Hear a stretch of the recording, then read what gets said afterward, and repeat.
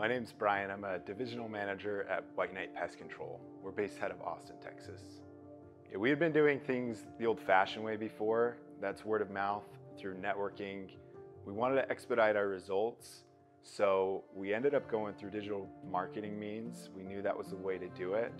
Um, we originally tried doing things ourselves. It turned out to be a lot harder than we thought.